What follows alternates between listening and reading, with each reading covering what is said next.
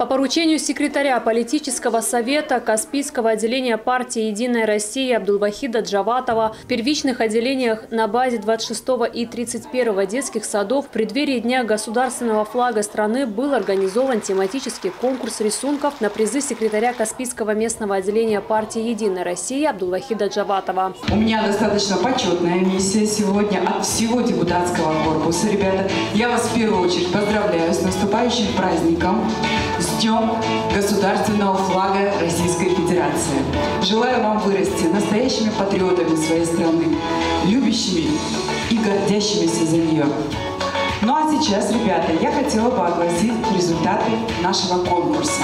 Конечно, вы все потрудились на славу, и выбирать было достаточно сложно. Вы представили все очень оригинальные, яркие работы. Победителем конкурса в детском саду номер 31 «Улыбка» стал Шамиль Рамазанов. Второе место получила София Амарова, а третье место заняла Фазиля Ибрамхалилова. Призы также получили воспитанники детского сада номер 26 «Родничок». Первое место Азамат Гаджиев, второе – Ашура Исмаилова, а третье место – Айша Магомедова. В рамках праздничных мероприятий воспитанники детских садов исполнили творческие номера, а также рассказали патриотические стихи.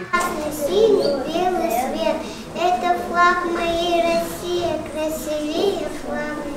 Основная цель мероприятия – это воспитать патриотические чувства, уважение к государственному флагу России через художественное слово и музыку, воспитывать эмоционально-патриотическое отношение к символике России, чувство любви к Отечеству, гордости за него и многое другое. Отметим, что завтра в детском саду номер 14 состоится аналогичный конкурс.